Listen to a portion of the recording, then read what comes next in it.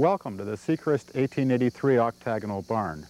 My name is Rich Tyler, and we're going to give you a little tour of the barn this morning, talk about its restoration and some of the background, and barns in general.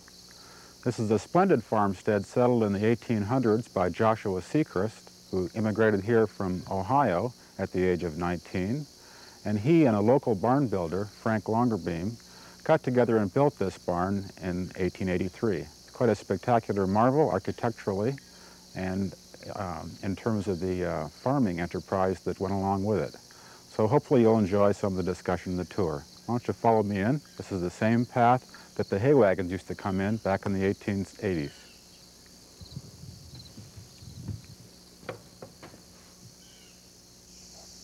Hello, I'm Woodrow Weeber with Senior Center Television.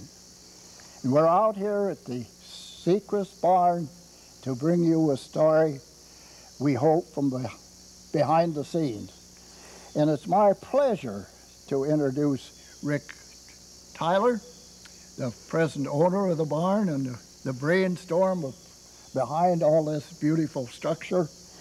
He came to us from Windsor, Ontario, Canada, 16 years ago. He's with the University of Iowa, and he's a audiologist. Close, enough. Close enough.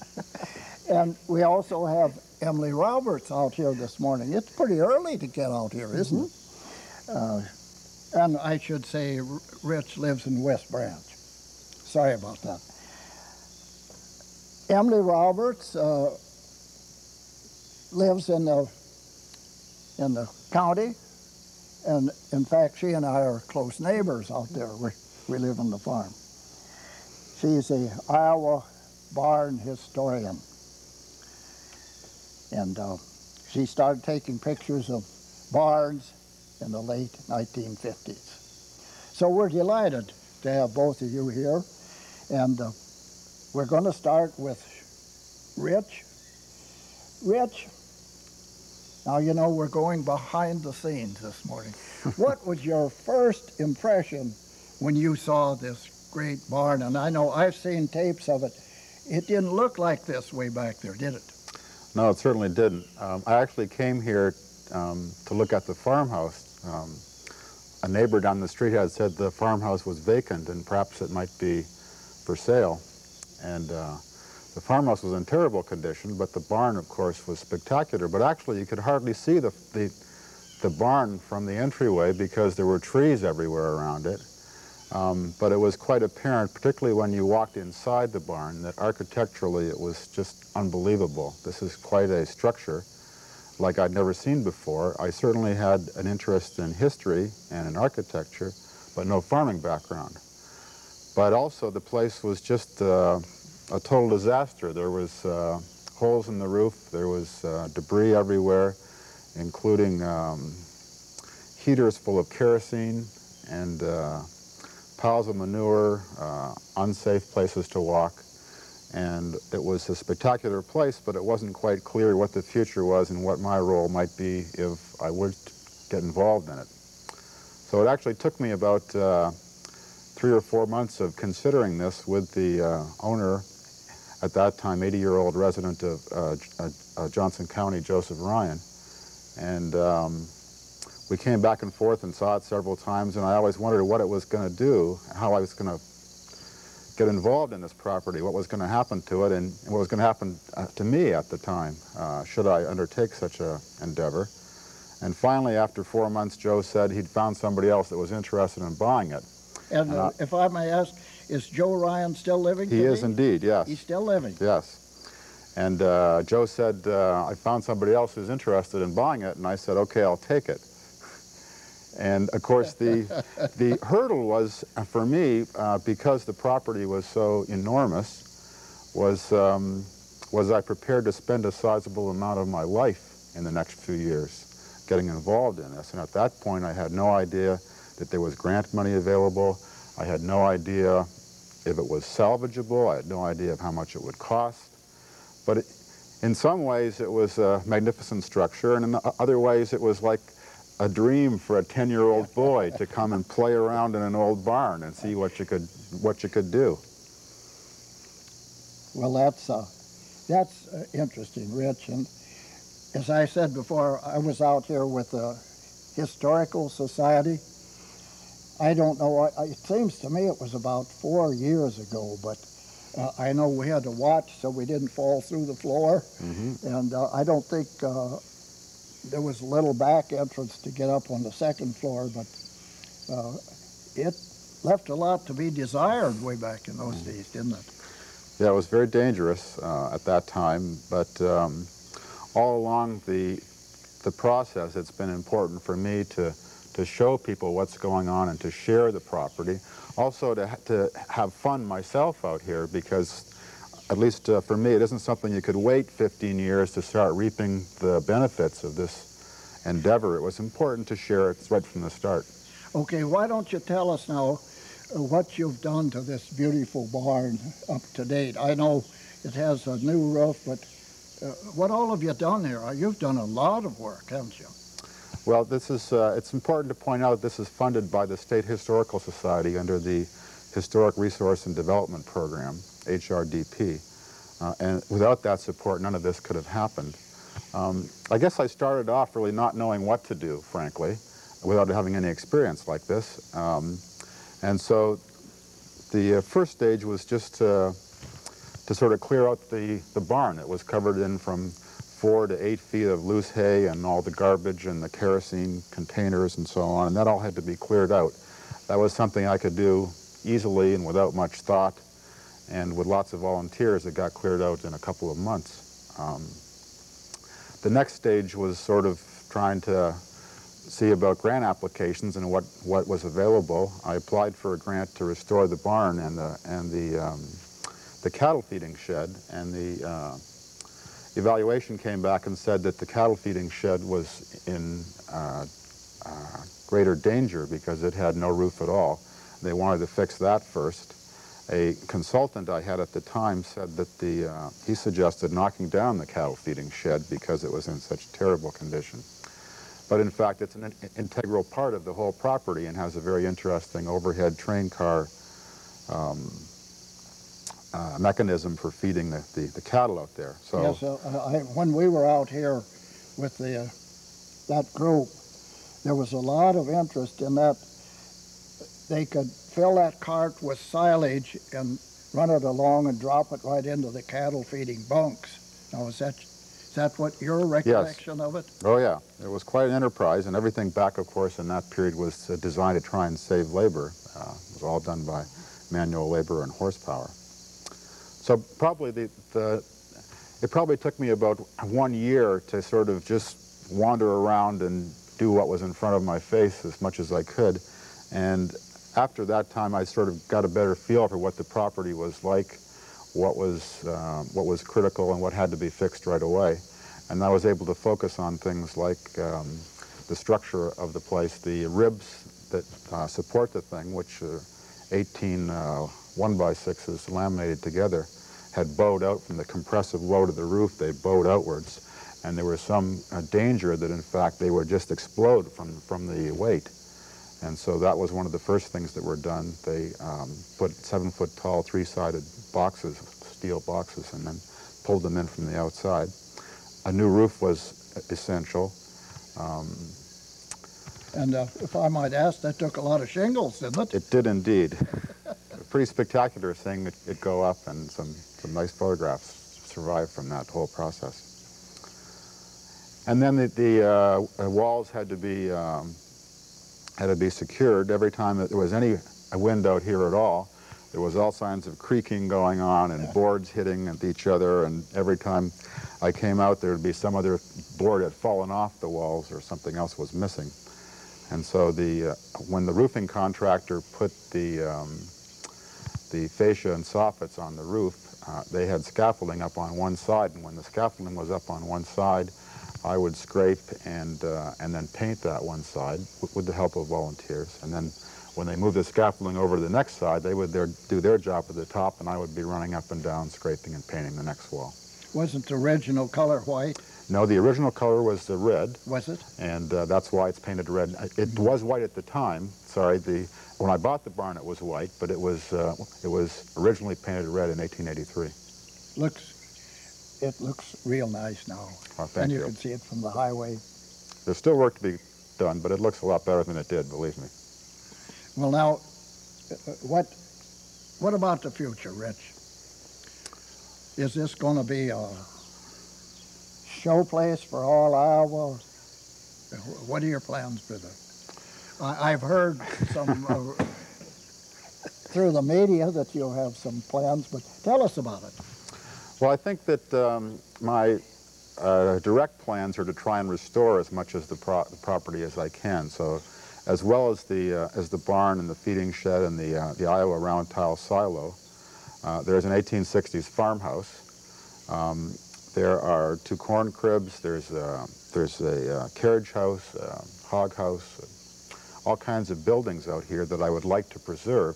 They're in the exact same state as they were in the uh, late 1800s because no one has lived on the property who has owned it since 1934 when the family lost it in the, in the Depression. So the primary goal is to try and preserve it as, as much as I can as it was in that era. Um, I want to open it up to the public as I'm doing now, and so there are um, bus tours that come here from Chicago and California. There, the first uh, wedding reception will be held out here in September. Uh, last weekend, the um, Iowa Peace Corps had a, a, a, conference here. There's been uh, fundraising for nonprofit groups, including uh, a wine tasting party by the Riverside Theater. Um, the Do-Si-Do Square Dance Club has had a couple of uh, square dances in here, so there's lots of activities being used now. What I don't want it to be is, is something that it becomes so popular that they put up a McDonald's across the street. and so I'm trying to keep it low key, and obviously this is a hobby for me, and so it, uh, there's only so much time involved, and it's not a, a money maker. I'm doing this because I'm enjoying it, and I think it's important to do. Well, I, I think, I, I believe I read that there might possibly be a restaurant out here. Is that true? I certainly hope not. well, you mentioned McDonald's.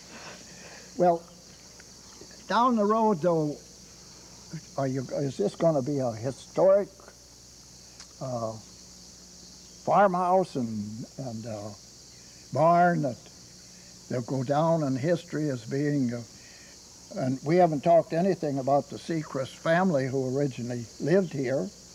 And uh, I believe you said that one of the distant relatives, or maybe Emily told me, would be here sometime. Is that, is that right? There, there are some survivors. Right. The a great-great-granddaughter-in-law just lives down the street, actually. Oh, was that right? Um, and also, I, I got a call this, uh, this spring from a family in California who were the members of the Frank Longerbeam family who discovered that I'd been restoring the property. And they're hoping to come out here this summer and see the place as well. So it's and one of the nice things for, for me about this whole enterprise is that the people that I get to meet and talk to. It's really fascinating to, to hear people come, both people who have interest in farming, people who have interest in barns, who have interested in architecture, photographers, painters, historians, contractors, the Peace Corps, as I said, it's just, uh,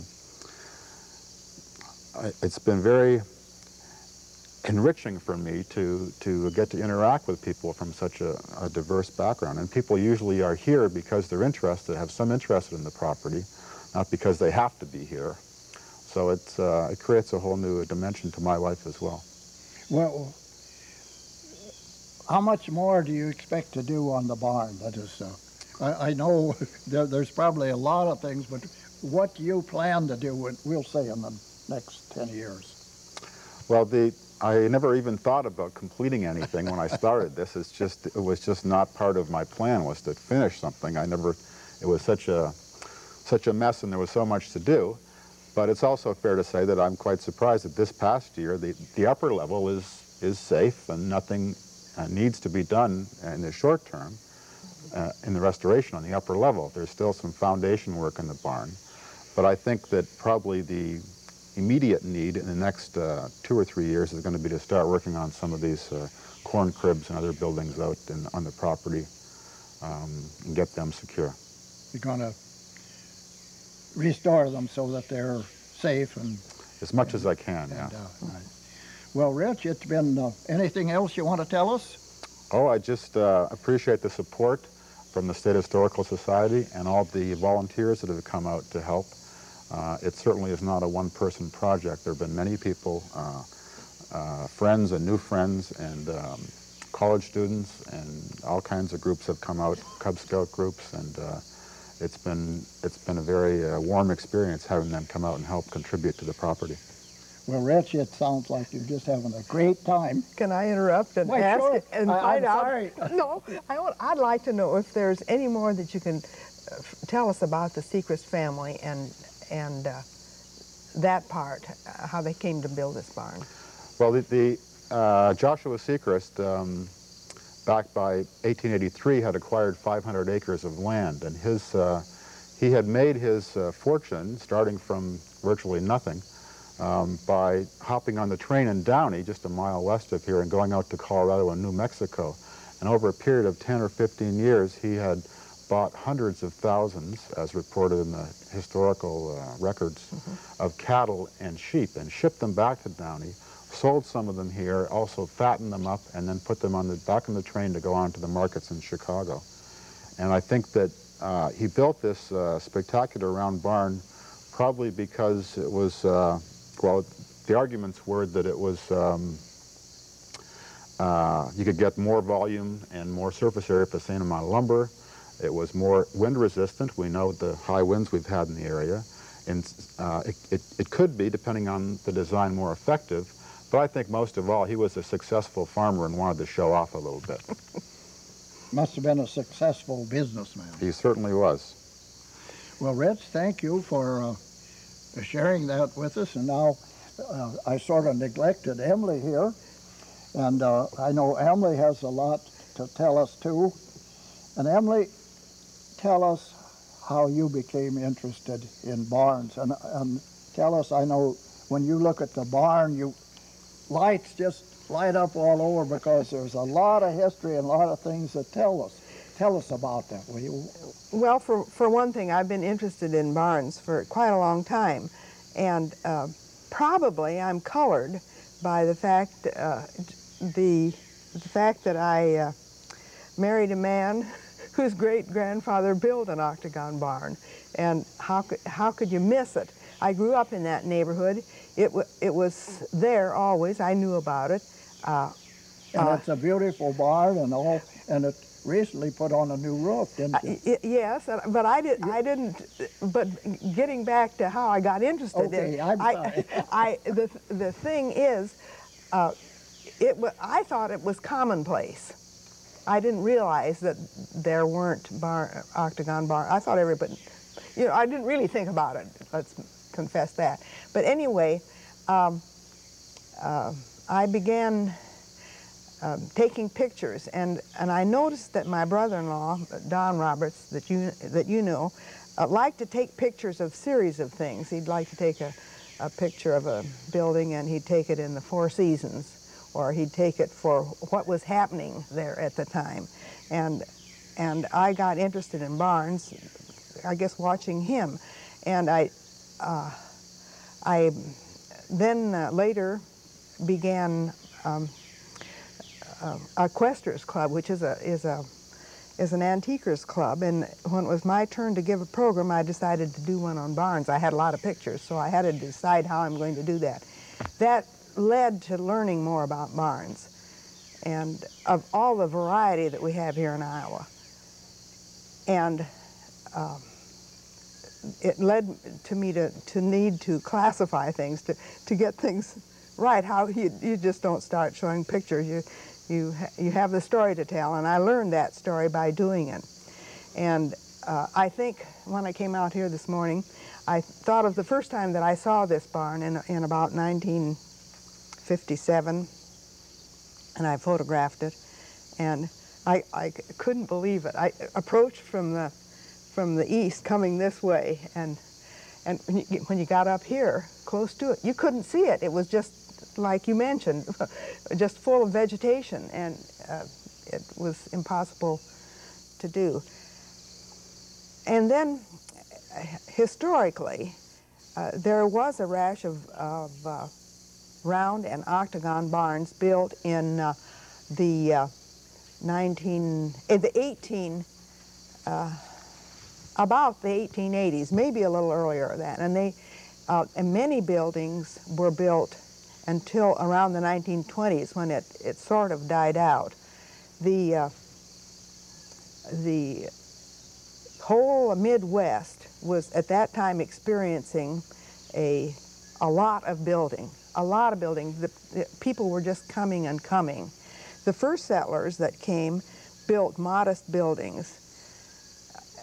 Uh, the basic necessities were, were taken care of. And, and then this second great wave of building took place uh, about the 1880s. When, um, when you date the barns that are in Johnson County, for example, you notice that there were many, many, many of them built then. The first uh, um, wave of settlers built their necessities. The second, uh, after they needed to be replaced, then they thought about lovely things like this. Not many of them, but a few of them did. I'm so glad they did. Uh, it's, it's amazing how well they've stood. They must have been built very yeah. substantial, mm -hmm. weren't they? Yes, they were. Uh, yeah, but still, uh, um, I lost my train of thought there for a little bit. The, uh, the, uh, the thing about this, this rebuilding, it was not only these, um, these octagon barns, it was, it was just barns in general, the, the, all sorts of barns. And the ethnic tale of the people that, that built these barns. I, am thinking particularly of what's called the uh, Pennsylvania style barn because this barn features some of those things. It was a barn that was built into the side of a hill usually, but out here in, in the Midwest they build them anywhere and, and build a ramp up to it. Um, this barn has a lower floor for, for the livestock. It has this ramp up to the second level, and then it has this third level, which is hay mow um, and what, other storage. What was the ramp basically for? To, to the, store hay? Or? The ramp was to get access to this second level. They could bring the hay, the hay up here and, um, and uh, transfer it to the mow. And this, the track is up here. And, and uh, that, that was started, we think, the Pennsylvania barn enthusiasts say that was started in Pennsylvania and they brought it out here, but actually it was done in Europe, in, in uh, Switzerland. And uh, there are, are people who have, uh, historians who have traced it, have found the prototype in, in, uh, in uh, Switzerland and brought it over here. So this feature of the uh, ramp and with the lower level over here. But I don't know where they found this one with the to the uh, cattle feeding shed that that saved all this manpower. Uh, it, it, it's fantastic. It, uh, is that the sort of thing you were wondering about? Yes, mm -hmm. yes, that's, uh, well, now are you through telling us well, what, what about the great change that's, that's coming and has been coming the last few oh, years? We aren't seeing this, this sort of barn built like this. And we haven't seen the, the standard rectangular barn being built. It, with, I can say that with, there are a few exceptions of all, uh, of, to that. Every rule does have its exception, I guess. Yeah. And uh, in, in the, here in Johnson County, we have, and Washington and Iowa County, uh, we have a cluster of uh, Amish Mennonite. We have this, it's a big settlement. And there are a few Amish people who still build uh, this, uh, the, the, old style barns, but they certainly are modified. They, they, are. they, they don't fell the timber and hew the beams, and uh, they, uh, they make modern exceptions too.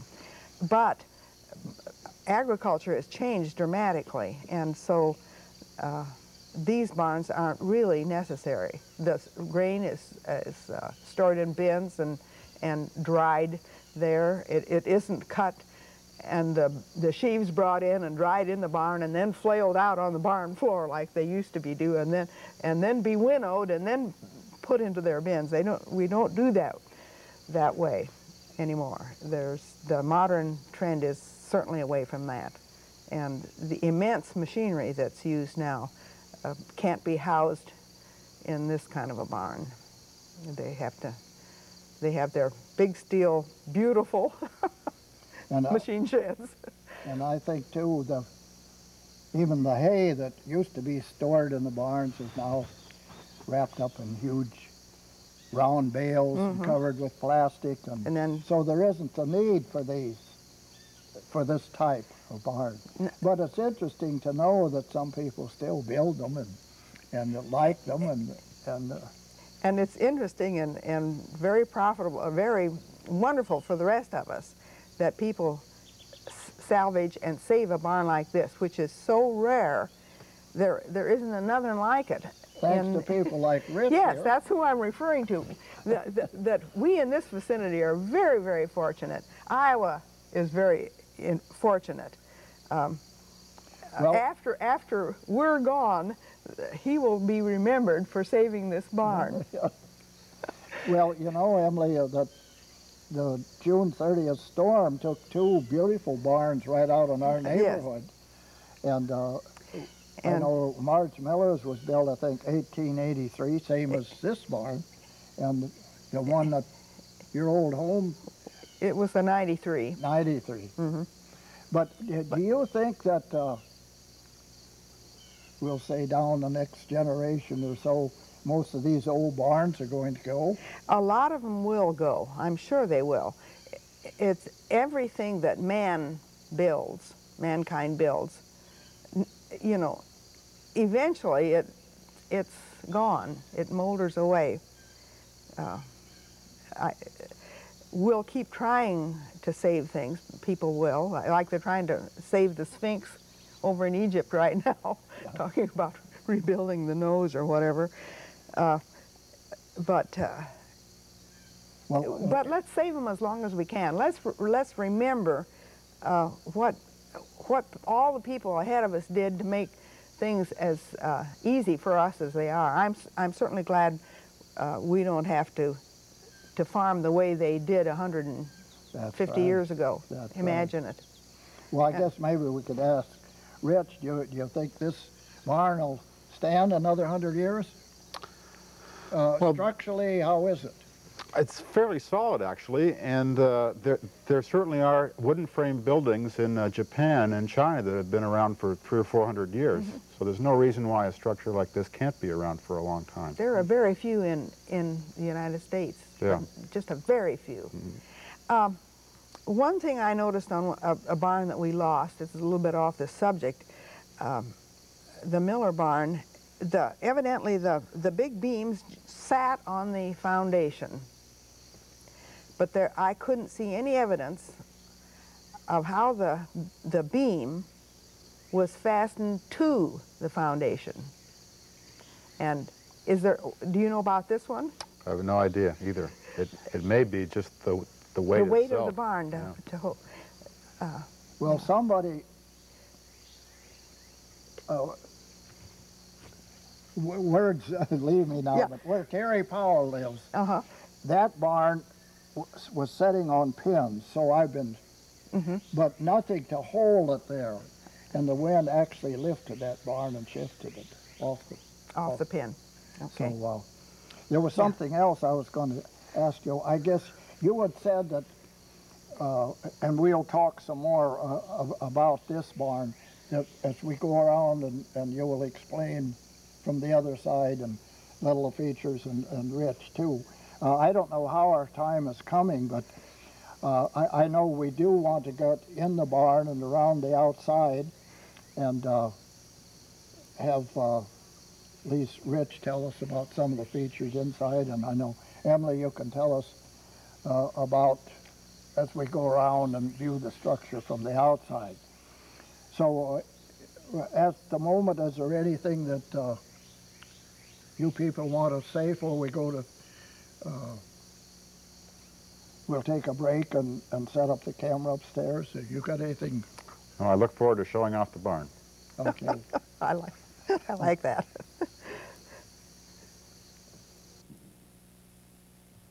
Okay, now we're in the upper level of the barn in the haymow. This was an important part of the barn because it was designed to hold 200 tons of loose hay. The hay wagon would come in in the door where we were before and would be uh, raised up, and I have the original hay fork uh, here, and it would be uh, raised up in its upper level, and you can see way up at the top a, a rope, and just behind the rope a steel circular tract. If you follow that around just right above your head almost here, where these ropes come up, that's the original hay fork carrier. And that hay fork carrier would have, would have been swung around to the right and swung around to the left um, by uh, horses and pulleys and a horse being led out the front of the barn. And I hope to get the entire thing functional sometime this fall and have a, have a hay raising or whatever they call it. Um, I've got part of it functional now, and I'll, I'll, demonstrate. Although this is baled hay, of course, this, this barn was filled with uh, loose hay, um, and they would have had this big uh, grapple fork holding it up, but I can just show you basically how this functions work. Let me put this down for a minute.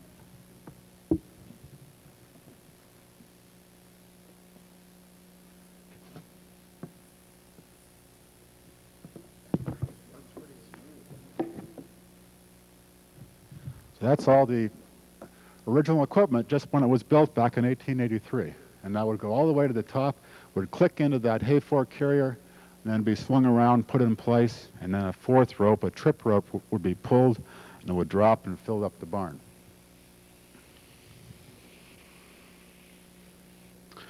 When the barn was full of hay, and of course it would have been filled all, almost all the way to the top of that rope up there at the very top, um, the,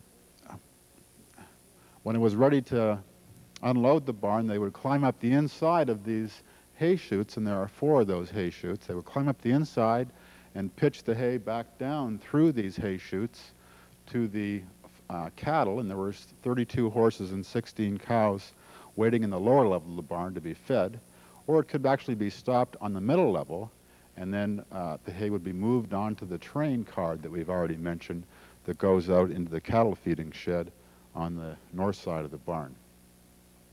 This building is fascinating, as I mentioned, because of the architecture, and you'll note now there are no central support structures in this barn.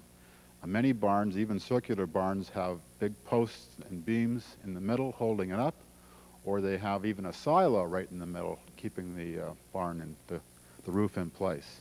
This barn is unique because of the uh, laminated ribs, and I believe that uh, Frank Longerbeam got the idea to use this, uh, this lamination from uh, a barn that was built a few years later by a man named Hershey in Muscatine. Frank Longerbeam would actually go to Muscatine to buy his lumber by horse and wagon from uh, Mr. Hershey, and Mr. Hershey also built a barn with lamination, perhaps the very first one in, in the, in the country. Um, designed by an architect from Baltimore, as I've discovered. I think it's important to have a close look at this, uh, this lamination. I don't know if you can get a shot down here close to the, to the corner. You can see this uh, lamination here up, up close. It's, uh, as I mentioned, uh, I believe it's 18 uh, layers of 1 by 6s that are all nailed and bolted together. They would have done that on the, on the ground and built a huge arch that would have been uh, probably about um, 45 or 50 feet uh, from the apex to the ground, and then propped it up and lifted it with pulleys and a tripod and horsepower. And there would have been one single arch sitting above the ground with tied with the ropes to both sides to hold it in place. And then some poor lad would have had to climb up that arch and sit on the top what a job that would have been.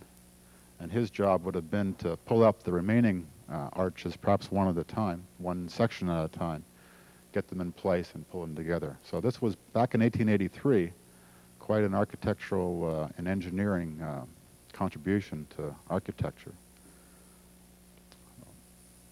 You'll also note uh, the stairways that go up here. This is, these are original stairways that, that go up from the haymow and are suspended stairways that go up all the way to the cupola on the top. The stairways um, are as I said, original, so they're over 115 years old, and it took me about three months of watching the uh, roofing contractors march up and down that uh, fearlessly. It took me three months to overcome my fear, and of course there was work to be done up there, so eventually I had to overcome my fear. But I still, even today, only go up there if there's work to be done. And I point out to people on tours that that cupola was built for a, for a few reasons. One, for to, to, to provide light, uh, two, to provide ventilation, and I point out that if I was a 15-year-old boy living on this uh, site and wanted to show off my girlfriend, I would, uh, I would walk up there and uh, enjoy the view with her because it's quite a spectacular view, actually. So, anyways, this is quite a quite a spectacular haymow and uh, has all kinds of applications now. So, uh, as you can see, there's still tables. We have all kinds of farm equipment, uh, some tools to display, and hopefully it'll be around for a while now. I think this is just a beautiful view of this uh, barn. Look particularly at the roof and uh, cupola. The uh, main part of the roof has these bell-shaped rafters that go clear to the foundation that are those laminated uh, one by sixes that Rich uh, described earlier. It, it just makes such a, a beautiful sweep as it comes it comes down. And uh, going up to the cupola, it's mirrored up there. It's, it's the same thing. And the, I see Rich has the uh, windows open, and I'm sure they would have been open for ventilation uh, when the barn was in use, whenever they, uh, particularly when hay was curing, they wanted the, the uh, windows open. This uh, shows the uh, three sides of the barn from this view. Also, a look at the uh, windows. Those windows could have been um, just plain, or, but they do admit a light. Uh, when I say just plain, I back up a little bit. They have this uh, little cap over the window the, that is just has enough decorativeness to it that it complements the whole look of the barn. I would like for us now to look at the foundation. I see on the octagon part of this barn that it is stone and it is mortared. And on the cattle shed here, beside it, it is uh, cement historically, stone was used until uh, cement became available in the 80s and 90s. Uh, by the by the 90s, it was uh, very common. But when you look at the stone, you wonder where did it come from and where was where was it quarried? We know there are quarries along the uh, Cedar River, not far from here. We maybe Rich knows, maybe someone knows how the stone was transported over here. Uh, a lot of the time, they would move stone in the wintertime when they could put it on um, uh, sledges so that it wouldn't have to be lifted up and it uh, would just be uh, scooted around uh, on the, the, runners on the ground. And if they had a, uh, some good weather, then they would do a lot of it then. This um, part here where we're standing was likely the loafing yard for the uh, the cattle that were fed in the shed, and on uh, um, beyond on the next uh, face of the uh, east face of the building here is a, a, double door which would lead into the uh, the uh, horse stable part of the barn and and there are also cow stables over there too, uh, where uh, they may have done milking. Uh, if you look closely, may, you may be able to see that, if you look closely, you may be able to see that the barn does have a little bit of a bow. And uh, rest assured, it has been stabilized on the uh, inside uh, to stop any more of that. It is indeed a beautiful barn. the uh, the big pine boards that were are probably not local uh, local lumber that that are the siding possibly came from uh, the forests in uh, Minnesota or uh, Wisconsin came down the Mississippi River and uh, stopped at ports from Clinton uh, and Muscatine. Both had uh, lots of, uh, of sawmill and uh, lumber uh, producing mills.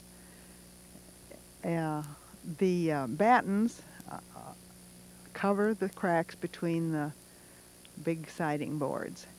And also it's interesting to note that the, the corner boards on the facing are, are uh, painted a contrasting color, and that's a, that's a typical thing that you see in barns in the Midwest. And uh, also, this is a little different view of the uh, bell-shaped roof. It, the bell goes out of sight when you're this close to the barn. It is indeed a beautiful barn. This is a shot of the silo. It's amazing that it's still standing. It's, um, Rich calls it Iowa, Iowa clay, Iowa silo. Anyway, a lot of Iowa's silo tile came uh, from a factory over uh, by Waterloo, and I'm not certain where this came from, but those are hollow tiled, uh, hollow uh, tiles reinfor- reinforced on the inside, but they they have a lot of hollow space in there.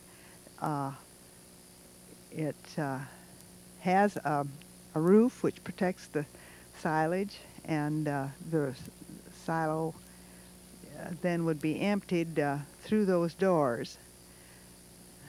And I would guess that there used to be a, a chute on this uh, side where where that cement uh, uh, up, uh, perpendicular slabs are. That there was a chute that they throw that, that they removed the silo silage, throwing it down to the cart that that went on the track on the inside to feed the various cattle. I'm not much of a climber, but wouldn't it be fun to have gone up the ladder and up over the top and take a look around? This concludes our story of the Secrest Barn uh, out here by Downey, Iowa. And we'd like to, to thank Rich Tyler, the owner, for letting us come out here. It's been my pleasure. I hope you enjoyed it. And to thank Emily Roberts, the barn historian, who accompanied us and uh, told us all the great things about these wonderful barns. Thank you. It's been fun.